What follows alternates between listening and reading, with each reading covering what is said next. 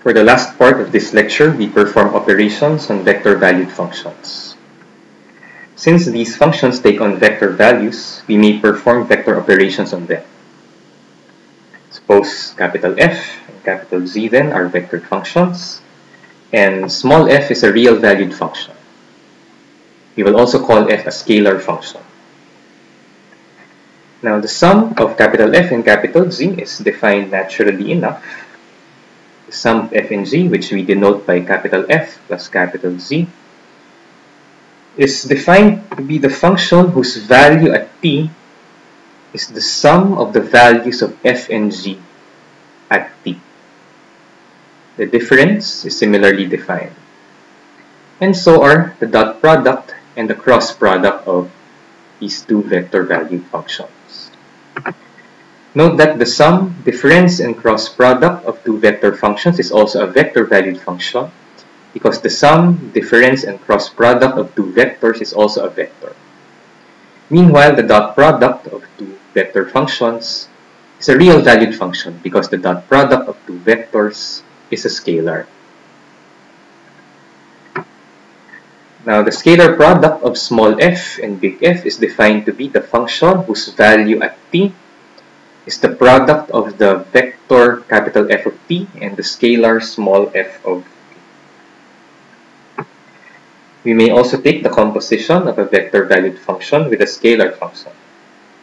We define the composition big F circle small f to be the function whose value at t is the value of big F at small f of t.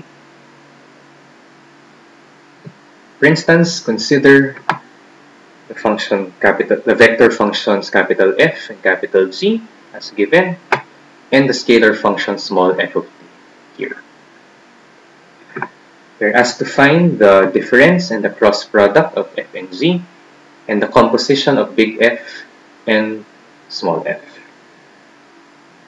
Well, the difference of f and g is obtained by just taking the difference of these two vectors, and this is done component-wise t plus 1 minus t minus 1 is 2. t squared minus 1 minus 1 is t squared minus 2. And t minus 1 minus t plus 1 is negative 2. Thus, the difference of these two vector functions is the vector function with components 2, t squared minus 2, negative 2. For the cross product, the i hat component is t squared minus 1 times t plus 1 minus 1 times t minus 1. The j hat component is the negative of t plus 1 times t plus 1 minus t minus 1 times t minus 1.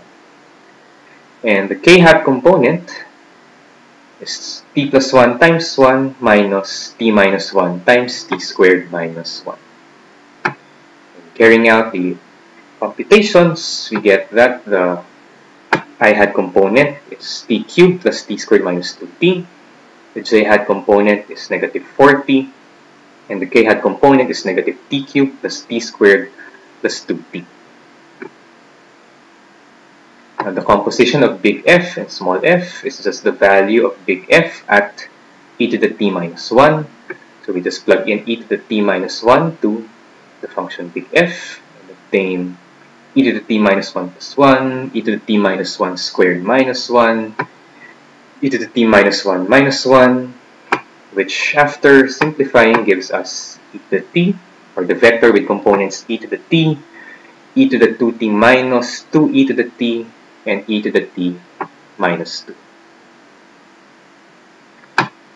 Finally, given the vector function capital F, with components cosine t, sine t, and t.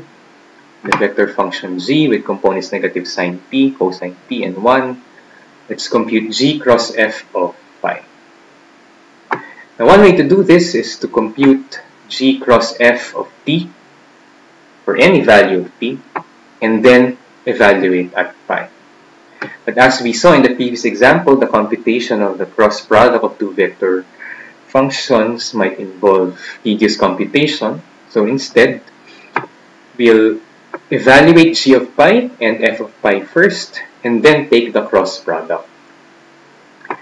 g of pi is negative sine pi cosine pi 1 or 0, negative 1, 1, while f of pi is cosine pi, sine pi, pi, or negative 1, 0, pi. Thus, the i hat component of the cross product is negative pi minus 0. J hat component is the negative of 0 minus negative 1. And the k hat component is 0 minus 1. Therefore, g cross f of pi has components negative pi, negative 1, negative 1. That's it for this lecture. Again, we defined vector-valued functions in this course to be ones that take in real numbers as input and return vectors as output. These functions define curves in two-dimensional or even three-dimensional space. And we also perform vector operations on these functions. So please try to work on these exercises. Notice that in example number or exercise number 3, both equations involve the three variables z, x, and y. Now to find a parameterization for this, as a hint, try to eliminate one variable first.